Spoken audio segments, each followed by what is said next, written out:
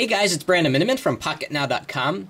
So in what we've seen so far of Windows Mobile 6.5 and the sliding panel home screen interface, and there are several videos up on our YouTube channel that shows you this, it doesn't look like we can customize the home screen sliding panels that much. We can't move them around, we can't turn some of them off, it's not very customizable. But as we're finding out from XDA developers, developers can actually take advantage of this interface. They can add plugins, they can change the skin. So so when Windows Mobile 6.5 devices come out, there probably will be a lot of new stuff coming out for the home screen um, from developers. So let's take a look at two such things. The first thing is a new skin I'm going to show you called Pyro. And what it does is it changes how uh, the background looks. It changes the edges here, so you get this little flame and it's got a nice effect to it.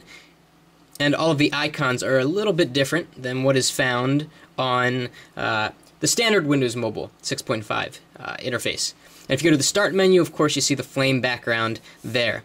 Now also, I've downloaded a plugin called Fave People, and here it is right here. And I've got some fake numbers in here, and what it allows me to do is flip through to different people. It shows you a little picture, it shows you the person's name, and you can flick your finger. Before, the standard Windows Mobile 6.5 sliding panel screen doesn't have anything like this, and I think it's a really convenient addition.